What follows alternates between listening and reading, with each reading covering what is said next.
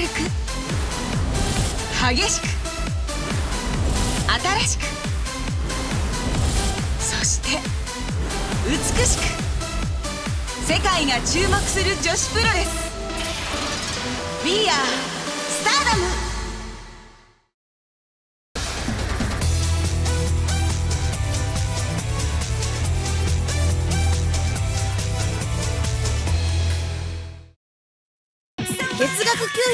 円でスターダムが見放題。公式動画配信サービススターダムワールド。試合はもちろんオリジナルコンテンツも盛りだくさん。スターダムワールドで検索。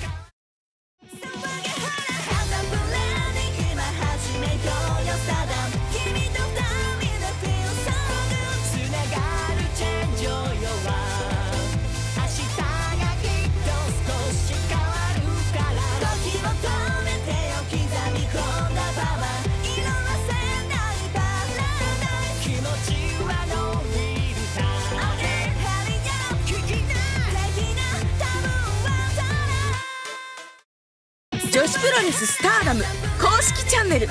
最新の試合映像から記者会見生配信バラエティ企画まで。キラキラ輝くスターダムの今がてんこ盛り。今すぐ登録。スターダムのアイコンと言われているのが歴史を作り続けてきた岩谷選手、まあ、スターダムの全王座を獲得というグランドスラム達成なわけですね。ああそうか、えー、そんなすごいのか。うわー。セントン王冠様新日本プロレスでそれを目指していらっしゃると思いますけれども。支配者って名乗ってんだからですよね。まあ本当に大変なことだなというふうにも。いや確かにそれはすごい、え想像に難しくないわけなんですがここはブレーンバスター一発。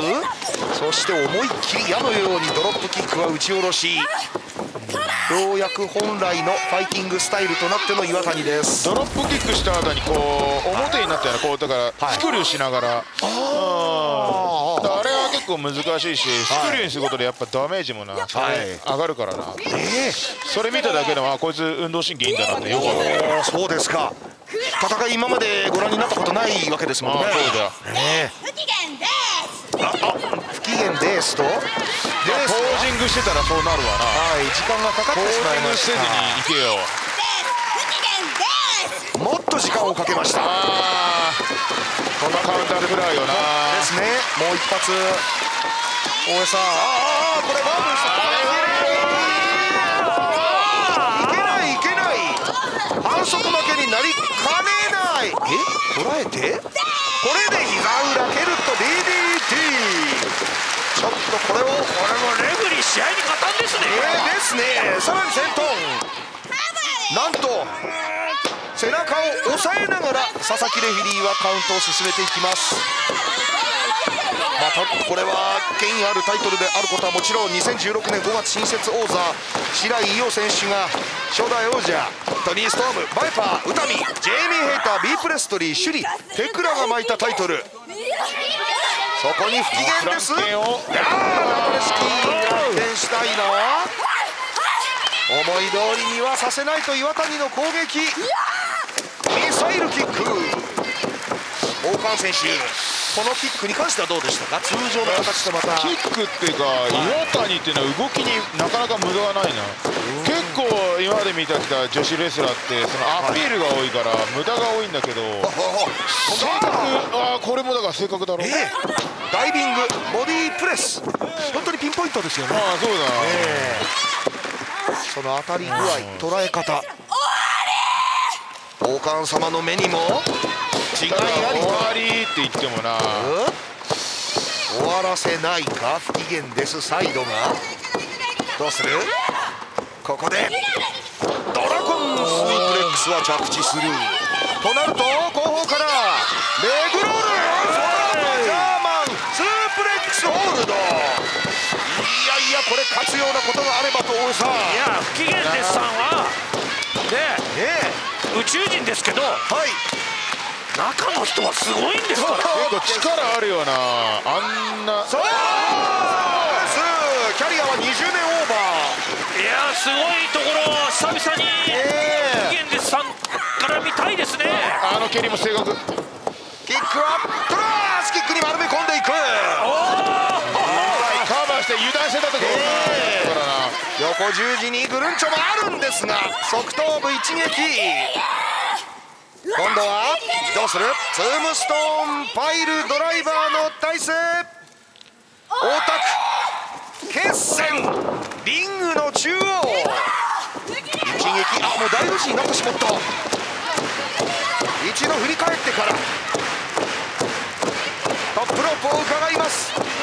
さあ綺麗なムーンサルトプレス宇宙人の挑戦。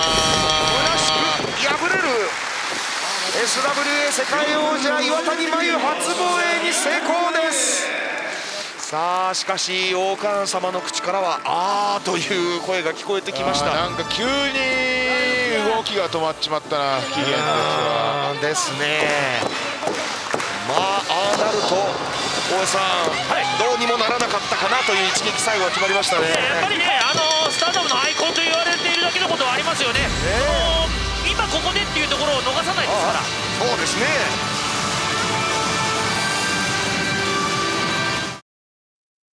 月額920円でスターダムが見放題。公式動画配信サービススターダムワールド。試合はもちろんオリジナルコンテンツも盛りだくさん。スターダムワールドで検索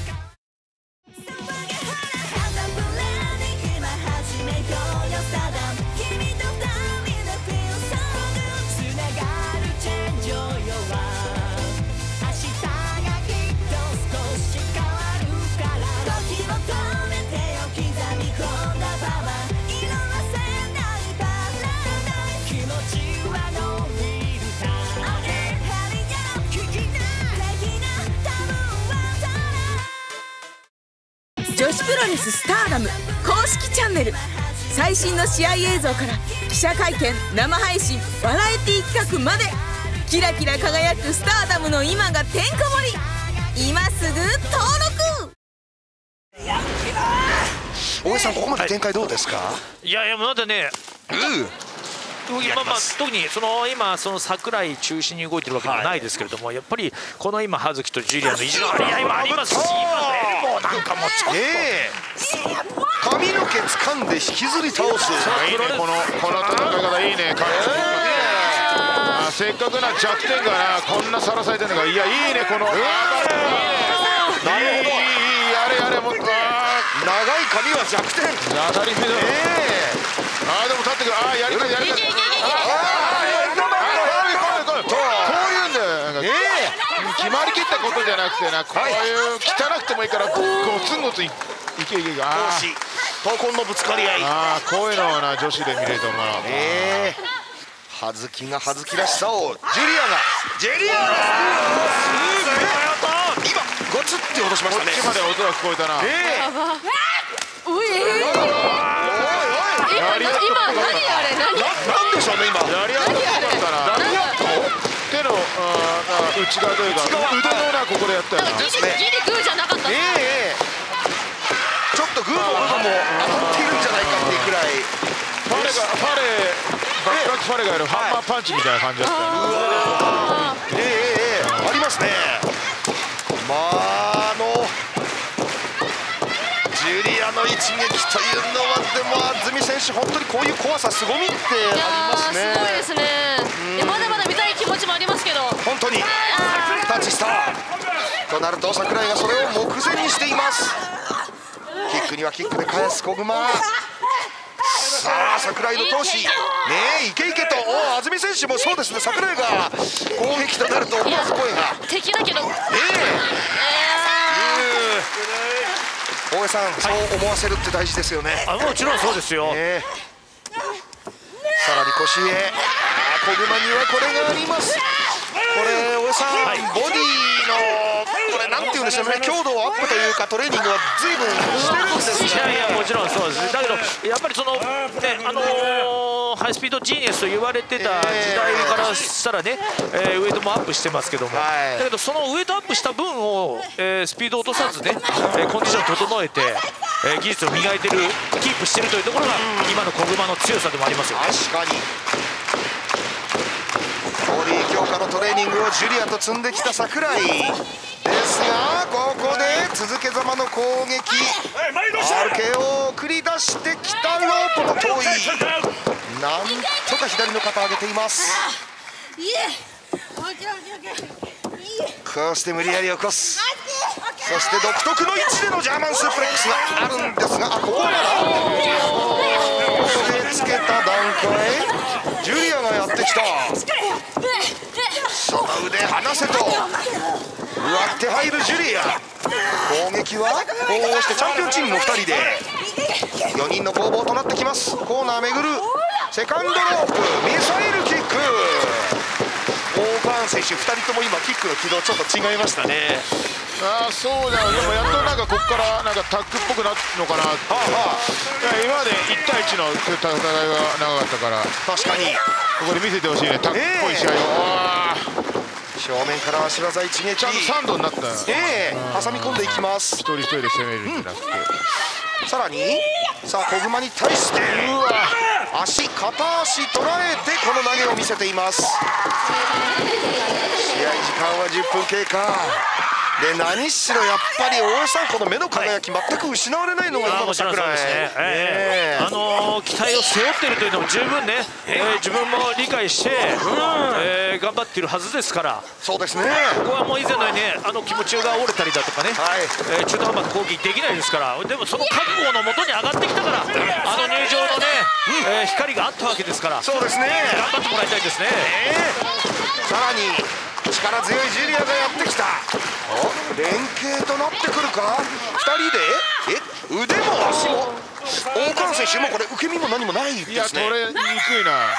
え？にくい、うん、バンプの基本は腕を張って腕で、はい、なんていうんだろうマット叩くの。開いて、はい、力を分散させるんだけども。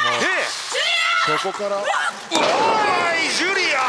これがそうか？これも体重が2つあるわけだから、はい、2倍以上になるからな。確実に左右から、うん、しかもでも難しいことやるよな。垂直落下式ブレーンバスター。ここもタイミングという点ではしっかり測っていたようです櫻井。すごい蹴り。しっかり蹴るなこういうところ、えー、こういうとこ軽めにやりがちなんだけどしっかり蹴るのはいいところだよ。ジュリアもそうですね、うん、やっぱ一個一個の動きを無駄にしちゃいけないから渡美選手流れどう映ってるんですか？うおジュリア奥さんやっぱでも、うん、ジュリアがずっとやっぱ葉月の頭突きを引きずってるなって感じが。あってやっぱそこが心配ですねやっぱり。ダメージですか？はい。うん打たれ強いとはいえ。打たれ強いと結構効いてますね。ずっと頭を押さえてる、ああおこの頭への攻撃カナディアンバックブリーカーに首を取れと小熊が多い首背中じゃなくて首から落ちたから、えー、ダメー。ジあるぞいけるか？流れ変えますよこれは、えー、立たなければいけません。桜井舞。そこにミサイルキックくるりと回るようにしながら、えー、角ですね、えー、小熊が全体重ぶつけていく。この体重にしては結構くるりと動けるな、えー、飛んで。素晴らしい跳躍でしたねあれは。さらにどうする？ブレーンバスターからおこの体勢からトップロープへ。高さ使ってきますか？天井が高い。この大天井 RKO トップロープから櫻井の首を取れたでもジュリア救出に入ります。戦いの分岐点。確実に訪れています。コードブレイカー葉月安住選手どうでしょうね。櫻井を小熊が狙うか葉月が狙うのか。いやーどうでしょうでもやっぱりおおすごいな。小熊は直接櫻井から負けてるんで、えー、そうですね。やっぱ葉月は託したいと思いますけどね、え。ー、分担がしっかりしてますねやっぱり FWC は。さすがのチャンピオンチーム。すげえな。5.7大阪では8人タッグでありましたが櫻井が小熊からスリーカウントを奪っている今日プレスかわしたいけいやー丸め込んでいったパターンだったんですがったかと思ったかなですねスリーカウントはならずまだ走るしかない飛び込むしかないとなるとジャーマンスプレックスおお肩の横で。返せるか？おっと意識あの意識ないですよもう無意識ですよこれはそして場外線は随分遠いところで葉月とジュリアが完全に怠慢モードに突入していますさあ後方から締め上げているスリーパーホールドは腕を腕挟んでるからあんまり決まりづらいよな巻き込みながらそれでもがってきた。村村一レフェリー逆にレフェリーは左で取ってダメだろう。ん左腕をどうする？桜左腕どうにかしないといけないか。ら左腕。ええええあーロープエスケープでありますしたね。テラの声がねえあの伝わったんじゃないですか？そしてまだ攻撃は続く。位置を少し変えてからということになりそうです。小熊まああの締め技食らうとはい酸素が行き渡らなくてクラクラするからな。にしてもすぐ行った方がいいぞこれは。ちょっと動き心配ですねこの後。トップロープから。バッチリだねこれは。全部をセンタープレス。ぶっ潰しました小熊。桜井舞の野望。ここに特力があったな今の。ついえ。ま者組初防衛に成功。あ揉めてる揉めてる。やってるやってる。まだまだ終わりません。安住選手。はい。15分11秒という結末でした。どんな風に映ったんですか？いやー桜井頑張ってましたねすごく、ええ。やっぱ小杖にいた時とは考えられないくらい頼もしくなってるんじゃないでしょうか。まあでもねちょジュリアは葉月に集中しすぎたかなっていうのはまあ。これはタッグマッチですもんねそしてタイトルマッチ。2人がその感情をぶつけ合いすぎたか。でも王冠選手この女の戦い。2人ちょっともう火は消えませんでしたね。いやーそうじゃなもっとやってほしい。いやなんかタッグなんだけど、このジュリアと葉月ってやつか、ええ。ここがすごいバチバチしてるのが面白かったな。いやー心に響きましたか？あーそこはこれはもう響いた、うん、CM の後ワンダー王者 VS シンデレラ白いベルト戦。月額920円でスターダムが見放題。公式動画配信サービススターダムワールド。試合はもちろんオリジナルコンテンツも盛りだくさん。スターダムワールドで検索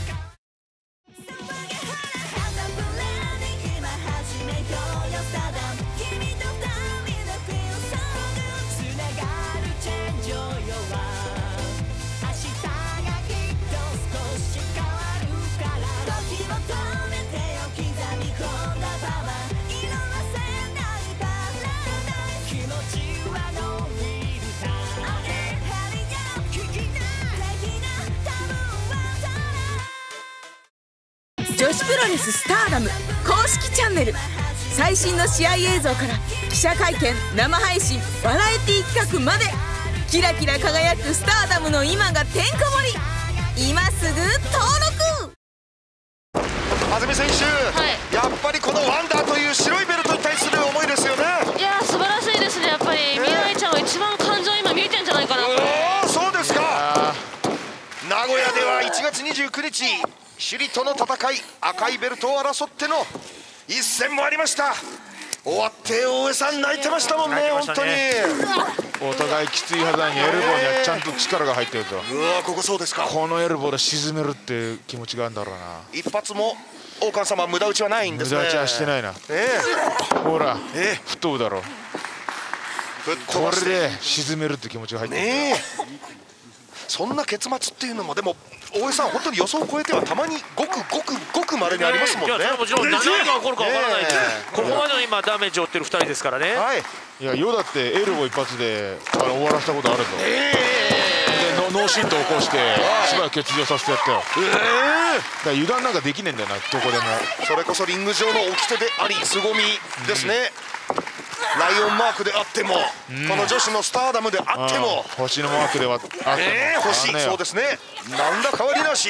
ただもうこのエルボーに関しては、ええ。拳でもね骨むき出しですけどエルボーも肘は骨むき出しなわけですよ。そうですね。エルボーは反則に当たらないわけですよね、えだからこの打ち合いの中っていうのは本当にグーで拳で殴り合ってるの変わらない。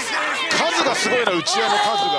何発いきましたねもうすな10ない発以上すごいな。おうおうおう引かない引かない。いやもうお互い脳を入れてますよ。いいこれいいな。これいいう絞り出すような王冠選手の声。これだこれこれこれ。え。え髪掴んで離しませんね今。いやそう髪をつ掴んで離さないっていうのもいいな、えあ未来返せない。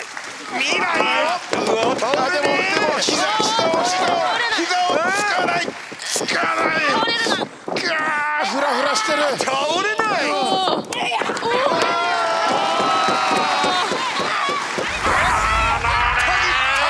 った分返すさ未来のあのラリアットはね本当にインパクトありますよねそしてお腰が痛いはずなの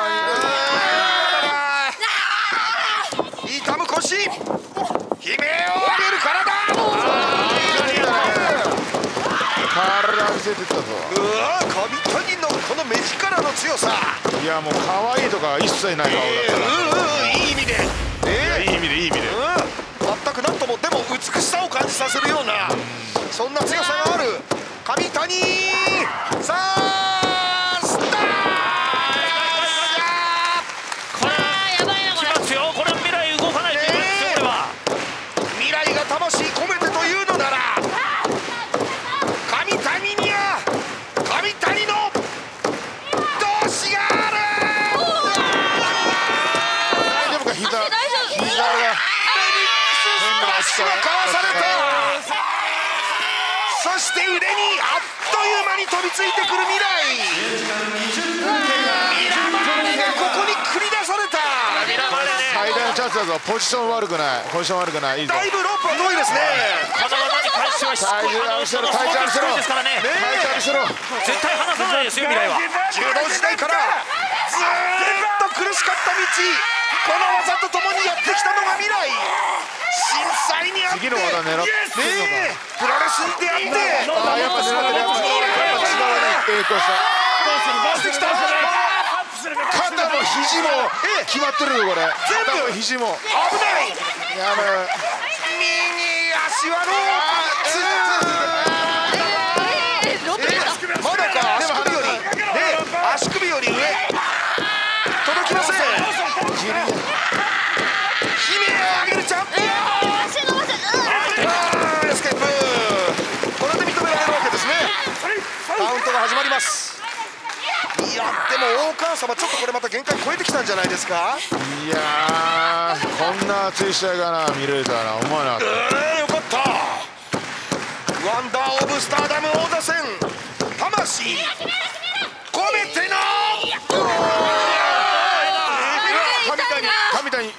肘肘を打たれたぞ。やっぱ肘危ない。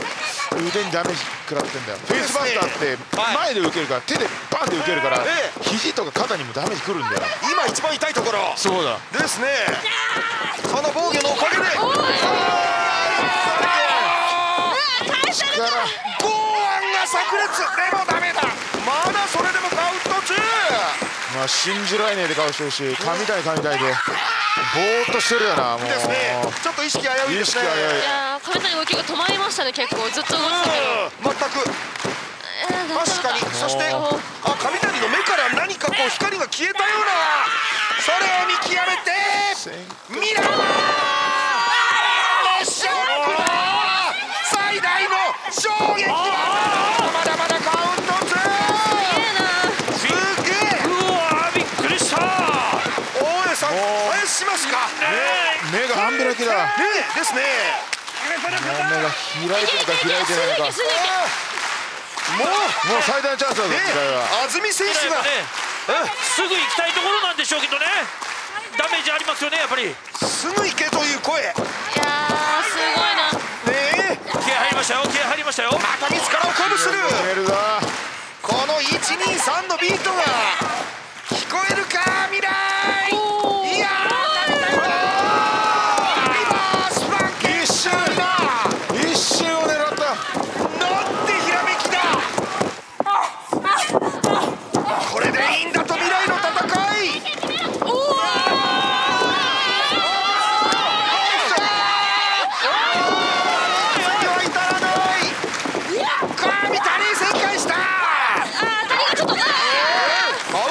ワンワンもしてないぞワンもないそのタイミングかわすとその先立ち上がっています。未来も立っている。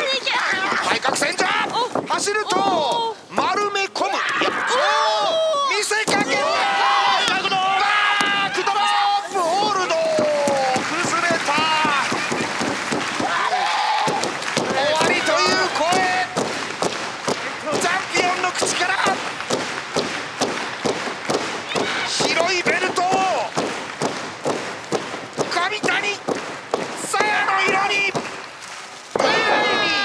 認色に。まずここでスタークラッシャーです。ちょっとね今一つ前のバックドロップの急な角度がありましたから腰にも負担かかってますしね,、えー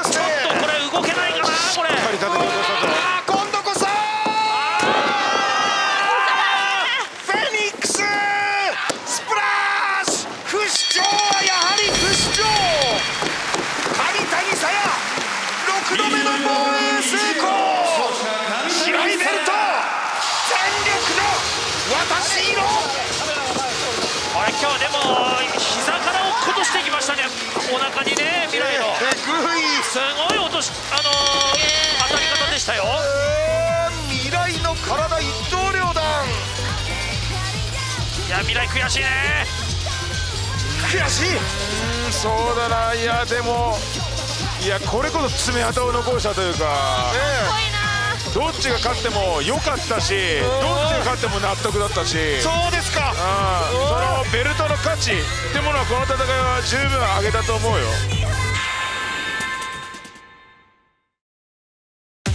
このコッコがフェニックス。食ってやるよ。月額920円でスターダムが見放題。